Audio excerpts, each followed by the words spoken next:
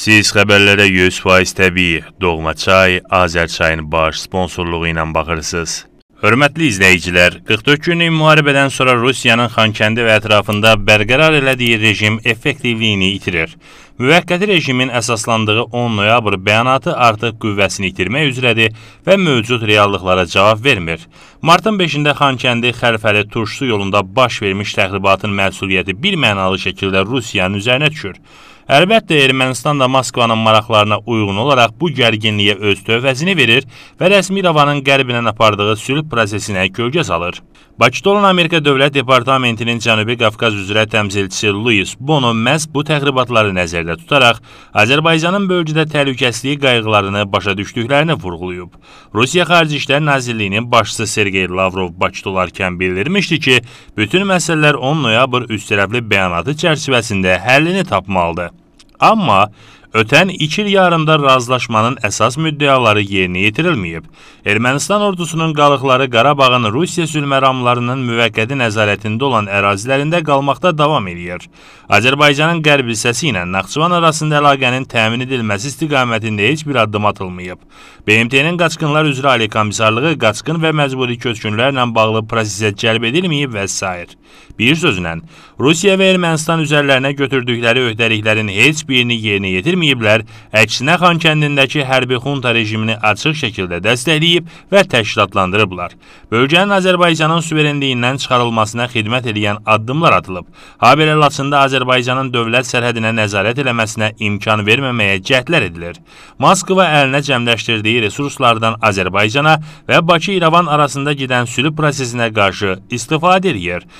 Zaman-zaman silahlı təxribatlar törədir. Hər bir rejimi təlimatlandırır, Vardanyan kimi əlaltı ordularını Xankəndiyə gətirərək Azərbaycan əleyhinə fəaliyyətinə şərait yaradır. Martın 5-də baş verən təxribatla Rusiya Müdafiə Nazirliyinin verdiyi reaksiya Bakının səbrini daşıran son damla oldu. Bəyanatda deyilir ki, 2023-cü il martın 5-də saat 10:00-da Duyuq Yanlar qəsəbəsi ərazisində Azərbaycan Respublikası Silahlı Qüvvələrinin hərbçiləri Dağlıq Qarabağın hüquq mühafizə orqanlarının əməkdaşlarının olduğu avtomobili atışa tutub. Toqquşma nəticəsində 3 nəfər həlak olub, avtomobildə olan bir işçi yaralanıb. Azərbaycan tərəfindən 2 ölü, 1 yaralı olub.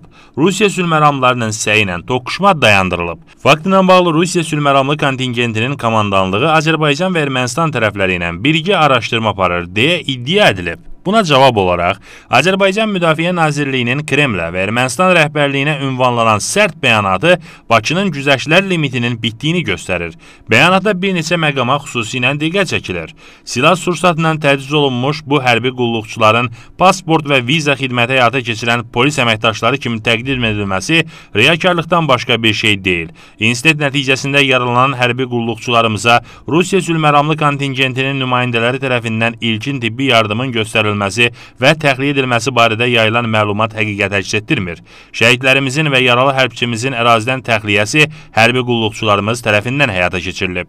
Üç tərəfli bəyanatın müddəalarına zidd olaraq Ermənistan tərəfindən Azərbaycanın Qarabağ iqtisadi rayonundakı qeyri-qanuni erməni silahlı dəstələrinə silah, sursat, təminat və digər hərbi vasitələrin daşınması davam etdirilir.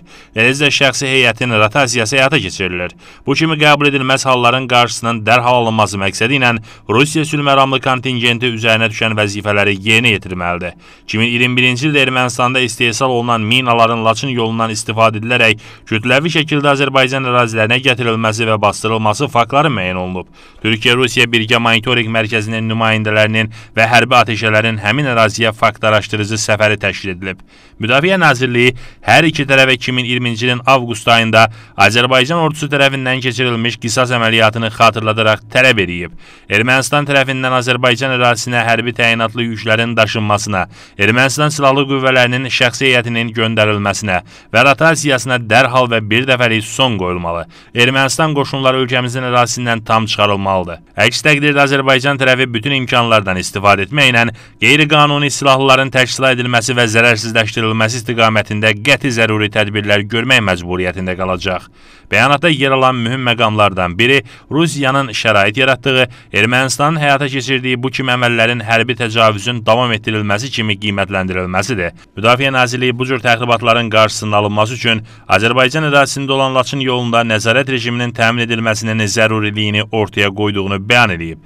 Beləliklə 10 noyabr bəyanatının icra olunmaması labüd böhrana gətirib və Rusiya onun qarşısını almaq üçün addımlar atmalıdır. Amma Rusiya Federasiyası Müdafiə Nazirliyinin yaydığı bəyanat rəsmi Moskvanın öhdəliklərini yerinə yetirmək niyyətindən çox uzaq olduğunu göstərir.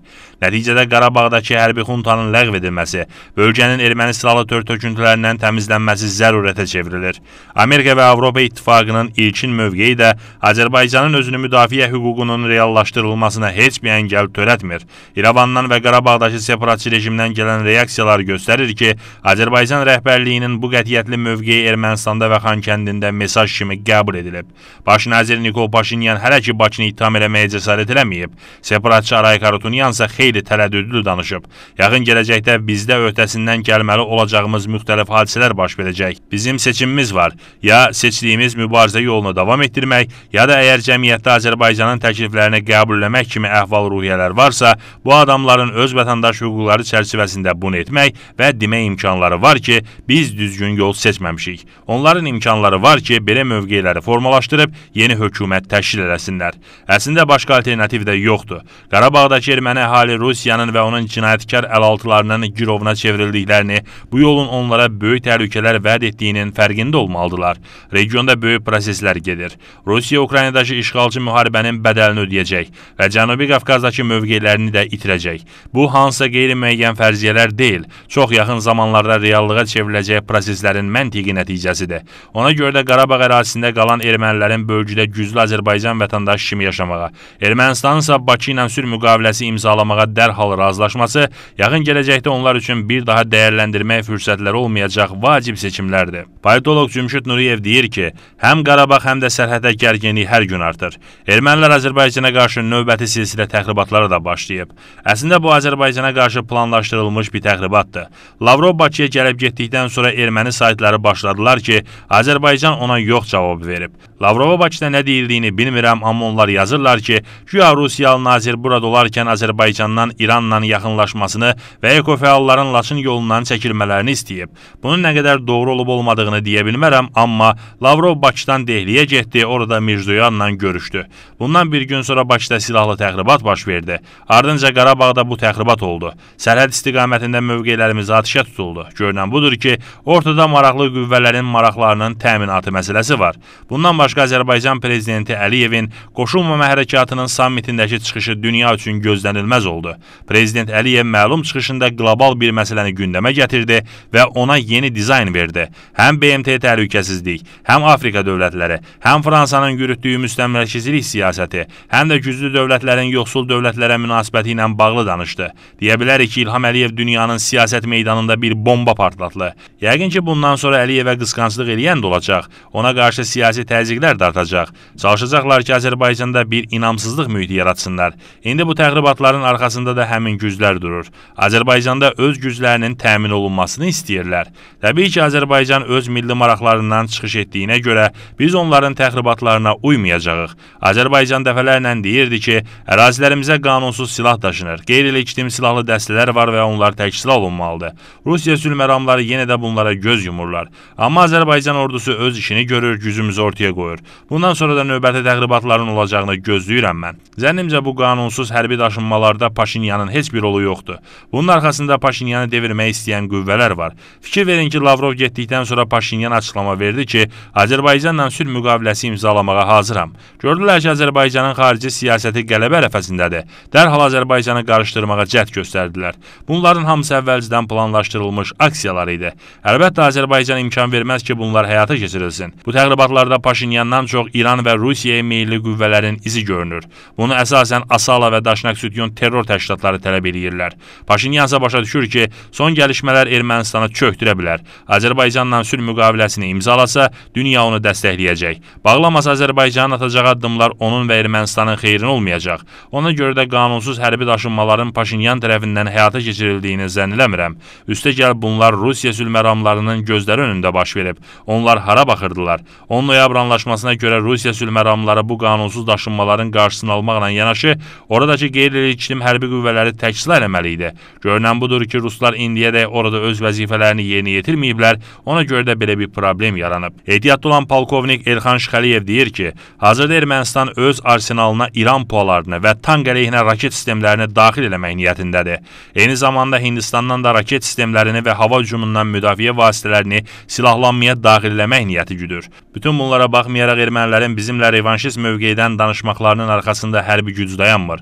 Onlar Avropa İttifaqının mülki missiyasını Ermənistana dəvət edərək düşünürlər ki, əgər burada 100 nəfərlik monitoring qrupu varsa Azərbaycandan təhlükə yaranmaz. Çünki bu heyətlər atəşkəs pozuntularını sənədləşdirib Avropaya ötürürlər. Onların niyyəti budur ki, Avropa institutları atəşkəs pozuntularını Azərbaycana qarşı şantaj vasitəsi kimi istifadə eləsin. Ermənistanın indiki niyyəti bundan ibarətdir ki, nə etsin ki, həmin o mülki missiyanın sayəsində Avropa ölkələri Azərbaycana sanksiya tətbiq eləsinlər. Onlar bunu hərbi güclə eləyə bilmirlər deyə bunu siyasi platformada eləmək istəyirlər. Onlar bunu şərti sərhəddə edə bilməyəcəklərsə, sözsüz bunu Qarabağ ərazisinə daşıyacaqlar. Onlar Qarabağdakı qeyri-qanuni daşımaları həyata keçirməklə Azərbaycanı təhrik eləyirlər ki, Azərbaycan geniş miqyaslı antiterror əməliyyatı keçirsin. Bunu da gətirib etnik təmizləmə və soyqırımına bağlamaq istəyirlər ki, həmin mülki missiyanın diqqətini Qarabağa cəmləşdirsinlər. Biz bu gün ermənilərin bu niyyətlərinin döyüş sahəsində konfliktə çevrilməsini görürük. Hazırda qlobal güclər Rusiyanın qarşı durmaya Ermənistan üzərindən getmək niyyəti güdürlər.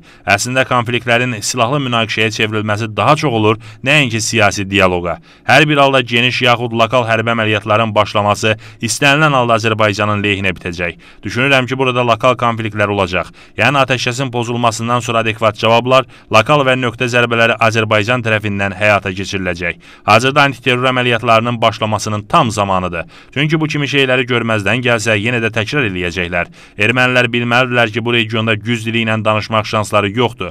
Onlar iki variantdan birini seçməlidirlər. Birincisi sülh və inteqrasiya, ikincisi müharibə. Hansını seçsələr də misli ilə qarşılığını alacaqlar. Ermənilər bilməlidirlər ki, Azərbaycan 44 günə BMT-nin 30 illik 4 hərbi qətnaməsini hərbi güclə yerinə yetirən bir ölkədir. Biz 90-cı illərin Azərbaycanı deyilik. Bizi təhrik eləyəcəklərsə adekvat cavablarını alacaqlar. Biz mesajımızı net verməliyik. Statın sonu. Xəbərləri 100% təbii, doğma çay, Azər çay təqdim etdi.